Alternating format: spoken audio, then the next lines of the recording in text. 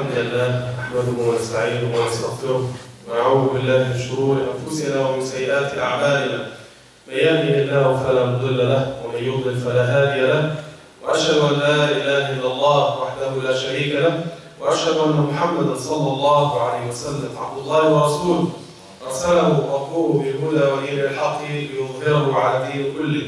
فبلغ الرساله وأدى الأمانة ونصح للأمة. وجاهد في سبيله حتى اتاه اليقين اما بعد فان أصدق الحديث كتاب الله تعالى وخير الهدي هدي محمد صلى الله عليه وسلم. ألا وإن كل محدثة بدعة وكل بدعة ضلالة وكل ضلالة في النار. يقول الله تعالى في كتابه الكريم وأصدق القائلين أعوذ بالله من الشيطان الرجيم. يا أيها الذين آمنوا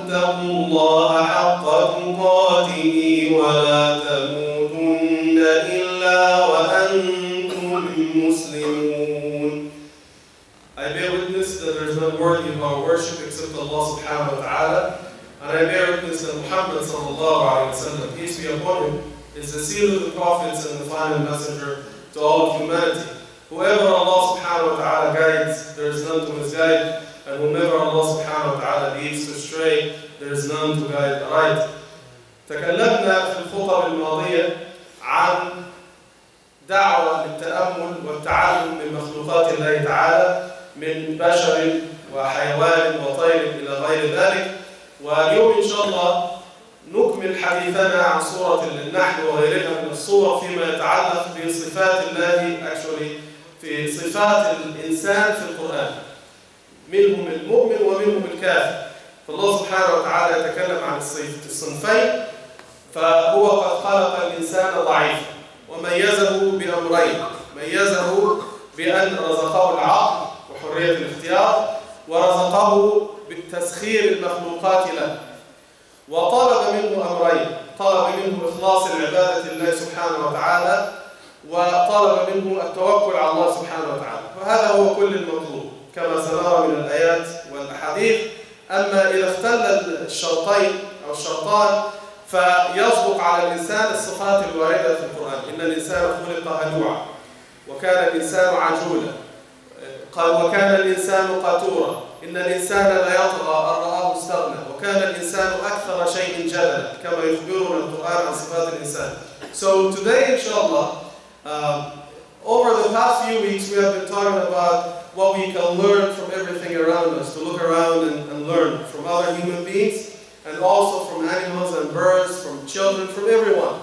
There is something you can learn from everyone and everything around you as we gave a lot of examples from the Quran and from the Sunnah of the Prophet Today, inshallah, we'll talk about some of the qualities given in the Quran, some of our qualities. Because Allah subhanahu wa ta'ala says in the Quran, هو الذي خلقكم فمنكم كافر ومنكم مؤمن. Allah created us.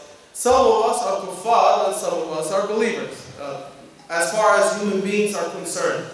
So you have to start the story from the beginning to see how Allah subhanahu wa ta'ala describes us in the Quran, those who believe and those who disbelieve. To see what it requires us, our job in this world, and where we do good and where we go wrong.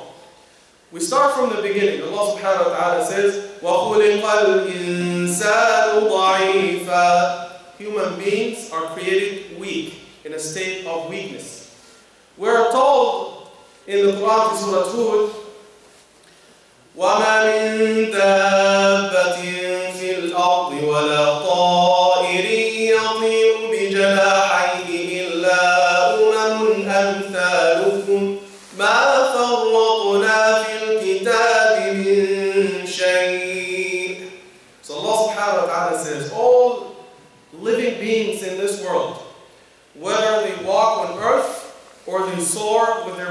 in the sky, there are communities like you.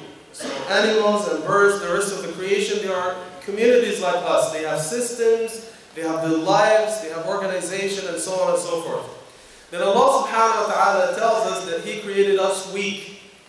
And He has given us two things so we can do the job. So the first thing He gave us, the brains, the, uh, the intellectual ability, the intelligence, the sophistication. Yes, other animals and birds and so on and so forth, they have some kind of intelligence, but they are not as sophisticated, they are not as intelligent as we are. Because we are the khulafa of Allah subhanahu wa ta'ala on earth. And we'll come to this at the, at the end.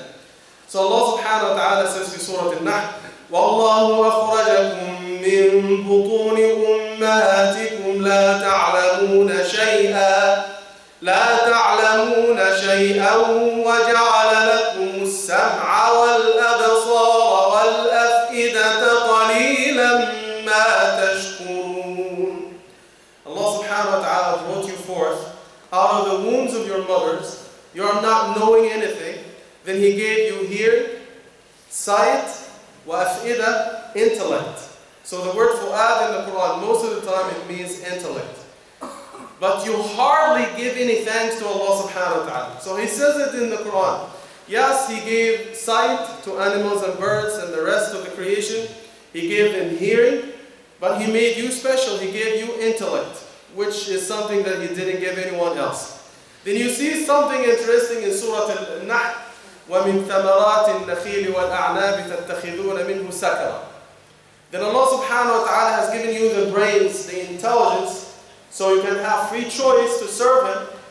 Then what do you do with this intellect? Some human beings, as Allah says in the Quran, they create wine or alcohol just so they can't think clearly. So they abuse the ability that Allah subhanahu wa ta'ala has, has given them to serve Him. Okay, so this is one type of people.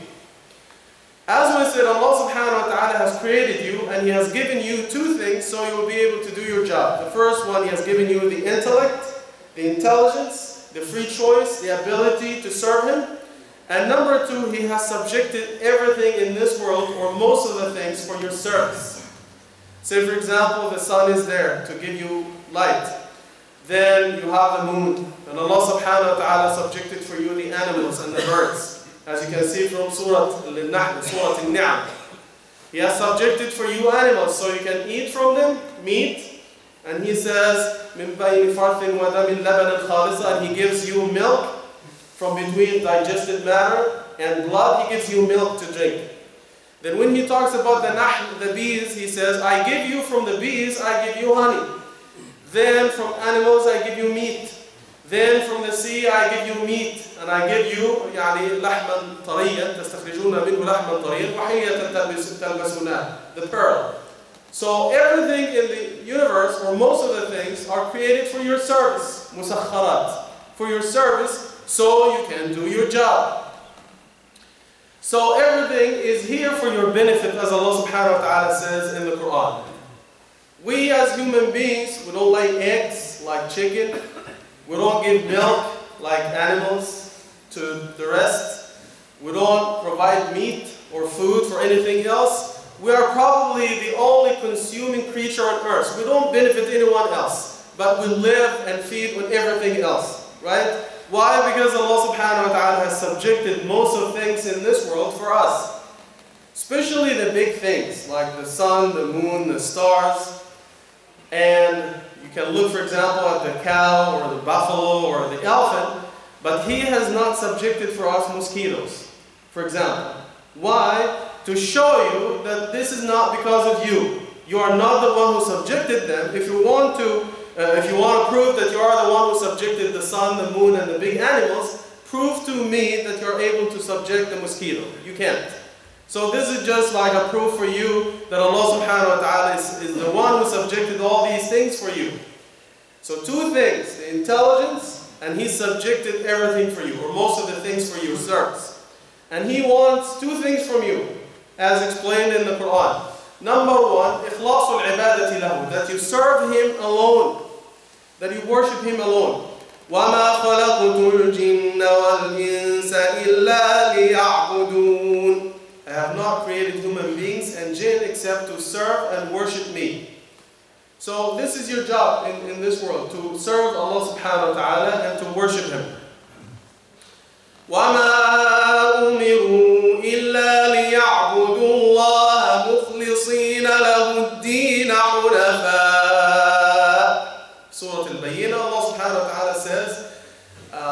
uh, I've commanded all human beings from the time of Adam all the way to Muhammad to do one thing.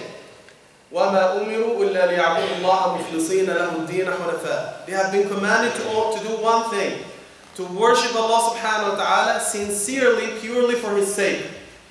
They don't show off, they don't do things to please people. That's your job, just to do things purely for the sake of Allah subhanahu wa ta'ala. And to do this, they have to do another thing. They have to put their trust on Him. Why? Because He is the only one who's, who's helping them and providing for them. Allah subhanahu wa ta'ala even is telling the Prophet ﷺ in the Quran, وَأْمُرْ أَهْلَكَ بِالصَّلَاةِ وَاصْطَبِرْ عَلَيْهَا لَا نَسْأَلُكَ رِزْقًا نَحْنُ نَرْزُقُكَ So Allah subhanahu wa ta'ala is telling even the Prophet ﷺ in the Quran, urge your people to pray. you are not providing for them. You are not even providing for yourself. I'm the only one who's providing for you and, and all of them. Right? So Allah subhanahu wa ta'ala is the provider. Right? So He's telling us in the Quran, put your trust in me. There is a beautiful ayah in the Quran, in Surah Al-Rum, Allah subhanahu wa ta'ala says, He talks about animals in terms of tawakkul, then He talks about human beings.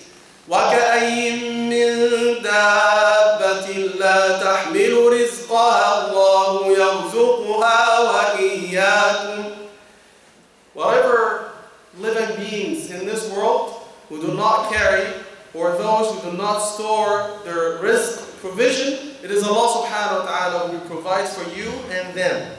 They say the reason why this ayah was revealed it talks about tawakkul, putting your trust in Allah, and you should know that He is the only one who is providing for you, so you can do your job in this world and worship Him alone. Right? So they say when the Muslims were persecuted in Mecca for so many years, 13 years, then the Prophet ﷺ told the Sahaba, go to Medina and live there so you will be able to practice your religion. You'll be able to pray, your wife will be able to wear the hijab, you will have halal, you will be able to live a Muslim life. So some of them said, Ya Rasulullah, but if we go there, we don't have homes, we don't have jobs, we don't have money, where are we going to go? So the ayah was revealed. It says, look at the animals. They put their trust in Allah. The animals that don't store their food, they don't carry their food on their shoulders or in their bank account, they don't have food in the fridge. They put their trust in Allah because they know that I'm the one who provides for them. And so, and therefore, I'm the one who provides for you too. So he's telling them, learn from the animals and the birds. It's very clear in the ayah. So Allah subhanahu wa ta'ala makes it clear that He is the provider and we can learn something from the animals and the birds. The Prophet ﷺ says the exact same thing in an authentic hadith in Musnad al-Imam Ahmad al-Tirmidhi. لو أنكم تتوكلون على الله حق التوكل لرزقكم كما يرزق الطير تغدو خماصا وتروح بطان. So the Prophet ﷺ explains the same thing in a beautiful hadith. He says, if you put your trust in Allah, just like birds do. He's, he's giving us an example through birds. He says if you put your trust in Allah, as you should, just like birds, they go in the morning, they go for work in the morning, and their stomachs, their bellies are empty, and when they come in the evening, their, their bellies are full. So even the Prophet ﷺ explains the same thing in the hadith. في حديث آخر في الترغيب والترهيب للمنذرين it's a beautiful hadith في صحيح الجامع أيضا الحديث يقول رسول الله صلى الله عليه وسلم يقول عليه الصلاة والسلام ما من أمر يقربكم من النار ويباعدكم من الجنة إلا نهيتكم عنه وما من أمر يقربكم من الجنة ويباعدكم عن النار إلا أمرتكم به. وإن روح القدس قدس قد نفث في روعي أنه لن تموت نفس حتى تستوفي رزقها وأجلها. فاتقوا الله وأجملوا في الطلب فإن ما عند الله لا ينال بمعصيته So the Prophet says in this beautiful hadith, there's, some, there's nothing that brings you closer to hellfire except that I told you to avoid. And there's nothing that brings you closer to Jannah paradise except that I told you to do. And Jibreel salam has inspired me, revealed to me, that no human being will die before they live the number of years that have or has been written for them and no human being will die before they take their full rizq, provision, what has been written for them. So then the Prophet says, so be mindful of Allah subhanahu wa ta'ala and don't try to get your rizq through haram ways, the wrong ways.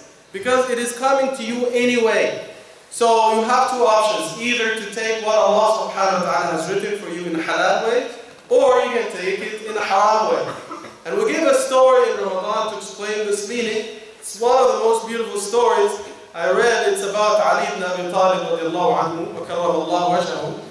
It says that one day he was traveling with his, uh, with his assistant and they, it seems that they missed Salah or something. They went after Salah. So he went to the masjid and he told his assistant, okay, we're going to go inside and, and pray. So we're going to leave my horse outside. And the horse had a beautiful uh, saddle, sarj, on the back of the horse. So he found a man uh, lingering outside the masjid, sitting outside the masjid. So he said, would you please keep an eye on my horse until me and my assistant would pray and come out? He said, yeah, no problem. Just, you know, go pray and come back. No problem. So they spent about 10, 15 minutes, they prayed, and on the way out, Ali ibn Abi Talib was thinking, maybe I can give him 10 bucks or something, 10 dinars for his service, you know, to honor him because he kept an eye on my horse for 10, 10 minutes or something.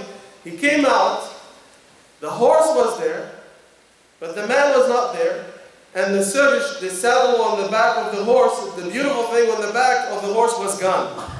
Nowhere to be found. So what happened? The man stole the saddle and he ran away to the market to sell it. So Ali ibn Abi Talib anhu told his assistant, would you please go to the market and buy us a saddle so we can use the horse? So the assistant went to the market and sure enough he found the man who stole the saddle standing in the market and selling the saddle for $10. The exact same amount that Imam Ali was going to give him. So Allah subhanahu wa ta'ala was giving the man the rizq in a halal way, but he was in a rush and he wanted to take it in a haram way. That's Allah subhanahu wa ta'ala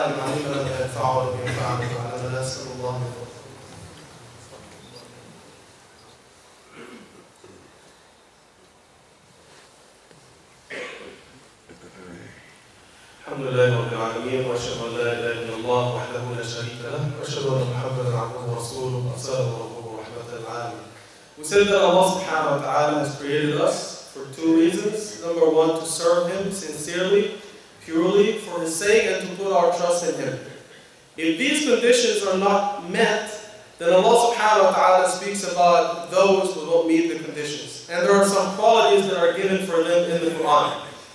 One of them, وَخُلِقَ الْإِنسَانُ عَجُولًا Human beings are created in haste. خُلِقَ الْإِنسَانُ مِنْ عَجَلٍ The human beings are made of haste.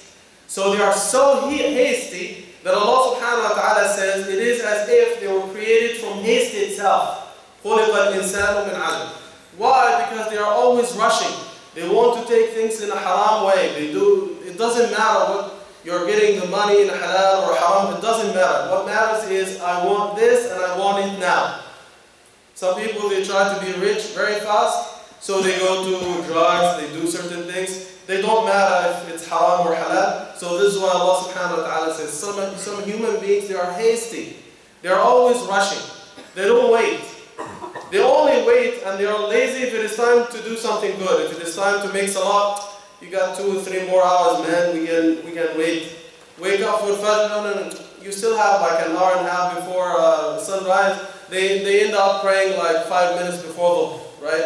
So this is what human beings do. One of the qualities of human beings. إن الإنسان خلق هلوعا إذا مسه الشر جزوعا وإذا مسه الخير منوعا إلا المصلين.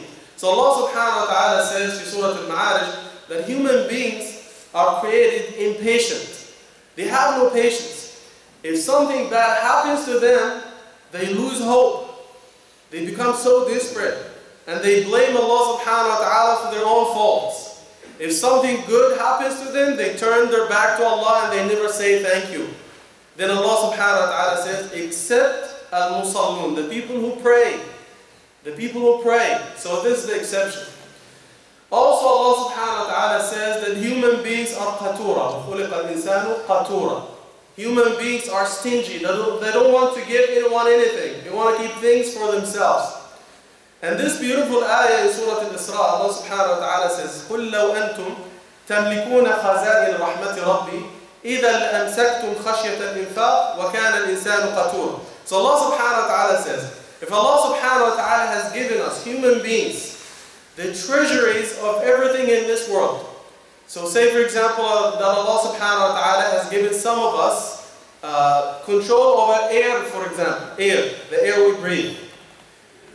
Then Allah subhanahu wa ta'ala says, you would have withheld the treasures of Allah. You don't like to share anything with anyone because human beings are created stingy. We don't like to share. Now imagine if some of us, a human being or a country, they have control over the air, for example, and they're not happy with you. Can you imagine? They will just withhold the air and you will die innocently. Or they will raise the prices. If you're not able to pay at the end of the month, you know, Mr. Ibrahim, we're sorry, but you didn't pay your bill for two months. We're sorry, we'll have to cut you off. You can't breathe and you will die. But Allah subhanahu wa ta'ala didn't do this because He knows that human beings are stingy.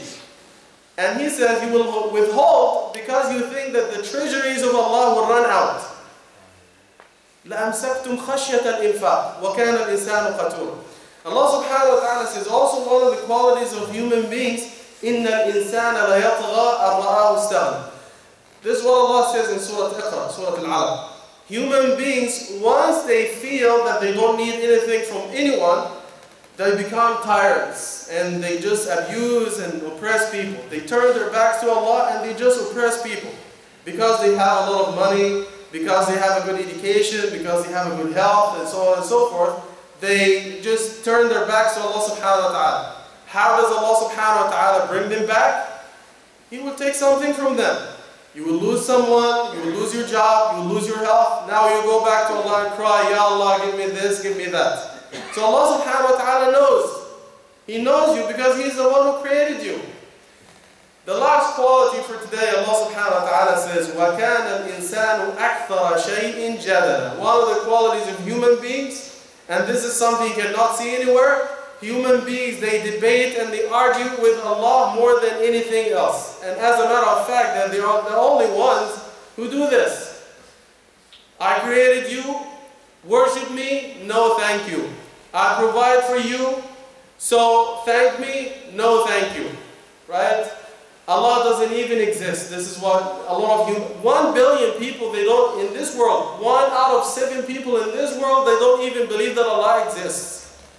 About 2.5 billion, like more than one third of them, they thank another human being and they think he created them and he provides for them. One billion, they worship animals and some worship mice and the stones and the fire. And the, who is left? وَقَلِيلٌ مِّنْ عِبَادِيَ الشَّكُورِ Very few of my servants are thankful to me. This is what Allah subhanahu wa ta'ala says. وَكَانَ الْإِنسَانُ أَكْثَرَ جَدَلًا Would you pray, fast in Ramadan, give sadaqah? I don't have to do all of this, man, because I have a pure heart. They debate with Allah subhanahu wa ta'ala. And those who close their eyes and say, well, just like on a sunny day, some people will just close their eyes and say, well, the sun doesn't exist. All you need to do is just open your eyes. So people just debate and argue about Allah subhanahu wa ta'ala. Why? Because they don't want to do the job, which is to worship Him alone, serve Him sincerely for His sake, and put their trust in Him. They just play games. And some of them even say, well, I just live this life whatever I want Five minutes before I die, I will make tawbah, I will ask Allah to forgive me, I'll go for umrah or hajj, you know, and Allah is kareem and all these things, right? So, Allah subhanahu wa ta'ala says in the Quran, فَمَنْ كَانَ يَرْجُو لِقَاءَ رَبِّهِ فَلْيَعْمَلْ عَمَلًا صَالِحًا If you are expecting, or if you have hope in meeting Allah subhanahu wa ta'ala and meeting His reward in akhirah, then do your job, which is do good deeds. Worship Him alone and be a good person. And this is the essence of Islam. Uh, نسأل الله سبحانه وتعالى أن يعلمنا ما ينفعنا وينفعنا ما علمنا ونسأل الله سبحانه وتعالى في هذا اليوم العظيم المبارك اللهم لا تدع لنا ذنبا إلا غفرته ولا هما إلا فرجته ولا مريضا إلا شفيته ولا ميتا إلا رحمته ولا مظلوما إلا نصرته ولا ظالما إلا خسرته. واغفر اللهم المسلمين والمسلمات والمؤمنين والمؤمنات الأحياء منهم والأموات برحمتك يا أرحم الراحمين. وأسأل الله سبحانه وتعالى to give us sincerity in everything we say and do. We ask Allah subhanahu wa ta'ala to give us the best in this life and the best in the life to come. And we ask Him subhanahu wa ta'ala to forgive our sins and accept our good deeds. وصلى اللهم على سيدنا محمد وعلى اله وصحبه اجمعين اللهم صل على محمد وعلى ال محمد كما صليت على ابراهيم وعلى ال ابراهيم انك حميد مجيد وبارك على محمد وعلى ال محمد كما باركت على ابراهيم وعلى ال ابراهيم انك حميد مجيد واقم الصلاه